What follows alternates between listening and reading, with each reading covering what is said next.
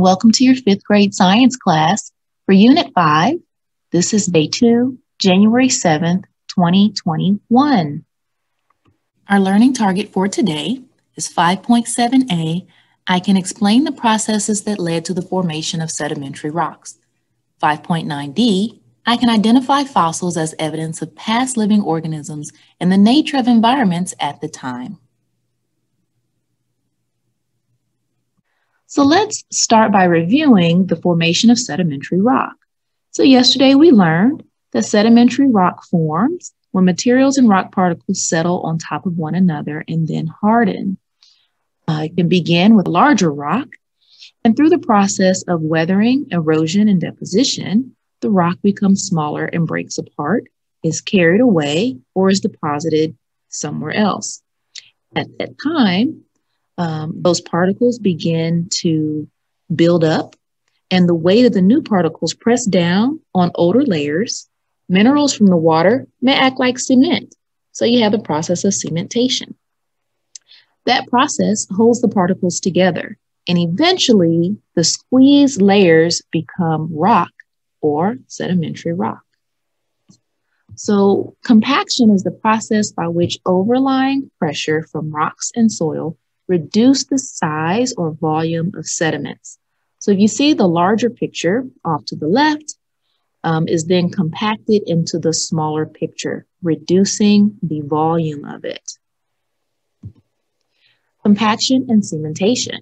So over time, the deposited grains and pieces of rock are compacted and cemented together in layers.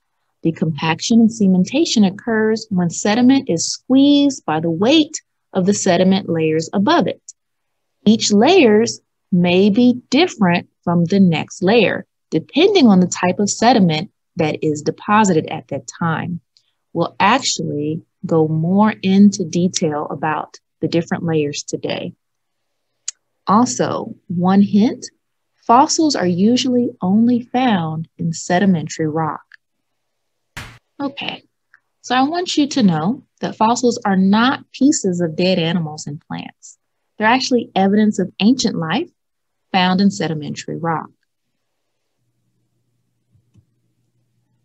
So let's talk a bit more about the fossils and the environment that they're found. Fossils are impressions, remains, or other evidence of an ancient organism formed in sedimentary rock. And looking at this fossil, it looks like a plant. So I'm assuming the environment at the time was on land or some type of forest um, or somewhere where there was plant life. What type of environment did this animal once live? If you said that this was evidence of sea life, then you are correct. Um, this is an imprint of a fish. And I'm assuming millions of years ago, fish still lived in the ocean. What type of environment did this animal most likely live? All right, if you said on land, I think you're absolutely correct. This little guy has four legs and a tail, and I'm I don't see any fins. I don't see, you know, any evidence that he lived in the ocean. Um, so I'm assuming, yeah, this might have been maybe a lizard or some sort. And I'm going to say yes, he lived on land. Okay, so let's review. What is compaction and cementation?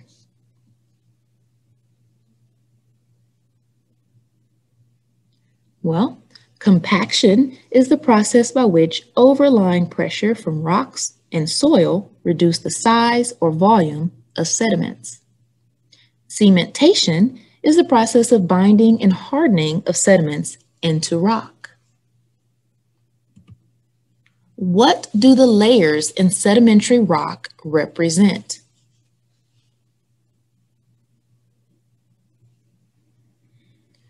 Well, as we learned, the sediment settles and it forms the layers. The layers actually represent the different types of environments that was present in that location at that time when the layer formed. what type of rock are fossils most likely to be found?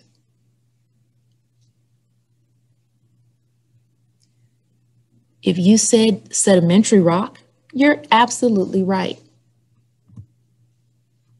How can we use fossils as evidence of the environment that they lived in?